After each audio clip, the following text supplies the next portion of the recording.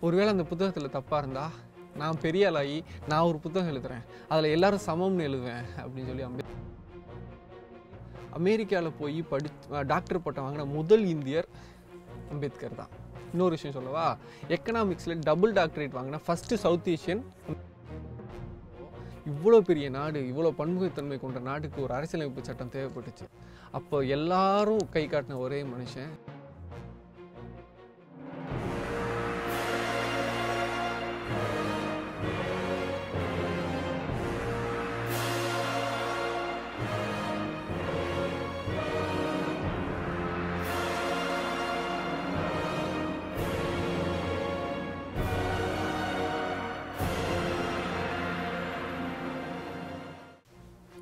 எல்லாருக்கும் வணக்கம். அரசியல் பேசலாம் வாங்க. அரசியல் பேசலாம் வாங்கன்னு சொல்லிட்டு படத்தை கோட் பண்ணுறேன்னு நினைக்காதீங்க. ஏன்னா நீங்கள் அந்த படத்தை அந்த சீனை பார்த்தீங்கன்னா நான் இப்போ பேச போகிற விஷயம் உங்களுக்கு நல்லா புரியும். சிம்லஸ் லிஸ்ட்னு ஒரு படம் இருக்குது அதாவது சினிமா வரலாற்றிலேயே எழுதப்பட்ட ஆகச்சிறந்த படங்களில் ஒன்று அப்படின்னு நான் சொல்லுவேன். அந்த படத்தோட கிளைமேக்ஸில் வந்து ஒரு கேரக்டர் ஹீரோட்ட சொல்லும் நீ பண்ணிட்டு போகிற விஷயத்தினால ஒரு ஜெனரேஷனே வாழப்போகுது நாளைக்கு அப்படின்னு சொல்லி சொல்லும். அது அந்த படத்துக்காக. அப்படி இங்கே ஒரு மனுஷன் பண்ணிட்டு போன விஷயத்தினால தான் இன்றைக்கி இங்கே ஒரு ஜெனரேஷனே வாழ்ந்துக்கிட்டு இருக்கு. இங்கே ஒரு ஒரு ஒரு சமூகமே வாழ்ந்துக்கிட்டு இருக்கு. யார் அவர் அப்படி என்ன பண்ணாருன்றதை நம்ம இந்த வீடியோக்குள்ளே பார்க்கலாம். பீமராவ் ராம்ஜி அம்பேத்கர். அதாங்க நம்ம எல்லாராலையும் பெருமையாக அழைக்கப்படுகிற டாக்டர் பா பாபா சாஹேப் அம்பேத்கர். அவரோட பிறந்தநாள் இன்றைக்கி அவர் அப்படி என்ன பண்ணார் அப்படின்னா அவர் இன்றைக்கி நம்ம இருபத்தோராம் நூற்றாண்டில் இருக்கோம் ரெண்டாயிரத்தி இருபத்தி ஒன்றுங்கிறோம் டிஜிட்டல் இந்தியாங்கிறோம் நியூ இந்தியாங்கிறோம் இன்றைக்கி அவ்வளோ ஏற்றத்தாழ்வுகள் இருக்குது எல்லார் மண்டைக்குள்ளேயும் இருக்குது ஏற்றத்தாழ்வுகள். ஒருத்தரை உயர் சாதிங்கிறோம் தாழ்ந்த சாதிங்கிறோம். நீ கீழானவன் பக்கத்தில் வராத அப்படின்னு சொல்லாட்டினாலும் மனசுக்குள்ளே என்ன நம்ம நினச்சிக்கிட்டு இருக்கோம். எப்போ இருபத்தோராம் நூற்றாண்டு? இதுலேருந்து ஒரு நூற்றி இருபது வருஷம் பின்னாடி போங்க. ஆயிரத்தி எண்ணூற்றி தொண்ணூற்றி ஒன்றில் அம்பேத்கர் ஒரு தாழ்த்தப்பட்ட குடும்பத்தில் பிறக்கிறாரு. அன்றைக்கி ஜாதிய கொடுமைகளும் ஏற்றத்தாழ்வுகளும் அவ்வளோ கொடூரமாக இருந்த டைம் இந்தியாவில் அப்போது அவரை ஒரு ஒரு பொது இடத்துக்கு அனுமதிக்க அவரல்ல அவர் சமூகத்தை மொத்த பேரையுமே ச- ஒரு பொது இடத்துக்கு அனுமதிக்கிறது இல்லை ஒரு பொது கோயில் இருக்குன்னா கோயிலில் விடுறதில்ல. ஒரு ஒரு ஒரு தண்ணீர் தண்ணி இருக்கிற இடம்னா அவங்கள வந்து தண்ணீர் அருந்த விடுறதில்ல. பள்ளிக்கூடத்தில் வந்து அவங்கள சரிசமமாக உட்கார வைக்கிறதில்ல. தனியாக ஒரு இடத்துல உட்கார வச்சு படிக்க வைக்கிறது. அந்த உயர் சாதி குழந்தைகளோட தொட்டு பேசுகிறதோ அவங்களோட கூட உட்காரதோ அந்த மாதிரி விஷயங்கள் எதுவுமே கிடையாது. அப்போ தான் அம்பேத்கர் வந்து அவங்க அம்மாட்ட கேட்குறாரு என்னம்மா கோவில்லாம் எல்லாருக்குமான இடம் தானே கோவில்? தண்ணி குடிக்கிற இடம்னா எல்லாருக்குமான இடம் தானே தண்ணி குடிக்கிற இடம். ஸ்கூலில் எல்லாரும் ஒன்று தானே. எல்லோரும் நானும் எல்லார் மாதிரியும் ஏன் நான் பெஞ்சில் உட்காரக்கூடாது அப்படின்னு கேட்குறாரு அப்போ அவங்க அம்மா சொல்கிறாங்க இல்லைப்பா அவங்களும் நம்மளும் ஒன்றும் இல்லை. யாருப்பம்மா சொன்னது? ஒரு புத்தகம் இருக்கான். அந்த புத்தகத்தில் அப்படி தான் எழுதியிருக்கான். ஒருவேளை அந்த புத்தகத்தில் தப்பாக இருந்தா நான் பெரிய ஆளாகி நான் ஒரு புத்தகம் எழுதுகிறேன் அதில் எல்லோரும் சமம்னு எழுதுவேன் அப்படின்னு சொல்லி அம்பேத்கர் அன்னைக்கு சொன்னார். அவங்க சொன்னப்ப யாருக்கு தெரிஞ்சிருக்கோ தெரியலையோ இவங்க எல்லாரும் அவரை தீட்டு தீட்டுன்னு ஒதுக்குனாங்க.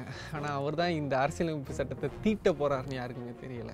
அவர் இன்னைக்கு இவ்வளோ பெரிய இடத்துல இருக்கார். இன்றைக்கும் அவரை பற்றி அவ்வளோ பேர் பேசிக்கிட்டு இருக்காங்க அப்படின்னா அவருக்கு ஒரே ஒரு விஷயந்தான் அதாவது இந்த ஏற்றத்தாழ்வுகளை ஒழிக்கணும். இந்த ஏற்றத்தாழ்வுகளை இல்லாமல் ஆக்கணும்னா கல்வி மட்டும்தான் ஒரே வழி. நீங்கள் படிங்க. நீங்கள் படித்தா மட்டும்தான் உங்களால் உயர முடியும் அப்படின்னு தன்னோட வாழ்நாள் முழுவதும் சொல்லிக்கிட்டே இருந்தார். சொல்ல மட்டும் இல்லை அவர் செஞ்சு காமிச்சார். அதாவது அமெரிக்காவில் போய் படி டாக்டர் பட்டம் வாங்கின முதல் இந்தியர் அம்பேத்கர் தான். இன்னொரு விஷயம் சொல்லவா? எக்கனாமிக்ஸில் டபுள் டாக்டரேட் வாங்கின ஃபஸ்ட்டு சவுத் ஏஷியன் அம்பேத்கர் தான். அறுபத்தி நாலு சப்ஜெக்ட் அவருக்கு தெரியும். ஒம்பது லாங்குவேஜ் தெரியும். உலகத்தில் இருக்க பெரிய மதங்களை பற்றியெல்லாம் படிச்சிருக்காரு. அவ்வளோ தன்னோட வாழ்நாள் முழுவதும் படிப்பு படிப்பு படிப்பு படிப்பால் தான் இந்த சமூகத்தை உயர்த்த முடியும் அப்படின்னு சொல்லி எல்லாமே பண்ணார். பாரிஸ்டர் பட்டம் வாங்கியிருக்காரு. சரி நம்ம பிறந்தோம் வளர்ந்தோம் கஷ்டப்பட்டோம் இன்றைக்கி இவ்வளோ தூரத்தில் வந்துட்டோம் அமெரிக்காவில் இருக்கோம் லண்டனில் இருக்கோம் அப்படின்னு அவர் இல்லை. அங்கேருந்து எல்லாத்தையும் படிச்சுட்டு எல்லா தன்னோட அறிவையும் அனுபவத்தையும் எடுத்துகிட்டு திருப்பி இங்கே வந்தார். தன்னை மாதிரியே இங்கே ஒரு மிகப்பெரிய சமூகம் பாதிக்கப்பட்டிருக்கு. அந்த சமூகத்தை மேலே கொண்டு வரணும் அப்படின்றதுக்காக தன்னோட வாழ்நாள் முழுவதும் அந்த சமூகத்துக்காக போராடினார். ஒரு ஒரு ஒரு குறிப்பு சொல்லுவாங்க. அதாவது பேராசிரியர் கு ஞானசம்பந்தன் அவர்கள் இந்த அவரோட பேச்சில் அடிக்கடி சொல்லுவாங்க அம்பேத்கர் ஏன் இவ்வளோ பெரிய தலைவராக ப போற்றப்படுறாரு அப்படின்னு அவர்கிட்ட கேட்டப்போ அவர் ஒரு இன்சிடெண்ட் எடுத்து சொன்னார். அதாவது ஆயிரத்தி தொள்ளாயிரத்தி நாற்பதுகளில் நினைக்கிறேன். அப்போ வந்து ஒரு ஒரு ரிப்போர்ட்டர் வந்து அம்பேத்கர்கிட்ட டைம் கேட்டிருக்காரு. அதாவது ஒரு இன்டர்வியூக்கு ஒரு வெளிநாட்டு ரிப்போர்ட்டர் கொடுத்துட்டார் அம்பேத்கர். ஸோ அவர் வந்து இன்னும் ரெண்டு மூணு இன்டர்வியூ அதாவது அதுக்கு முன்னாடி நிறைய பேரை இன்டர்வியூ எடுக்க வேண்டியிருந்துச்சு. எல்லாமே பெரிய தலைவர்கள்.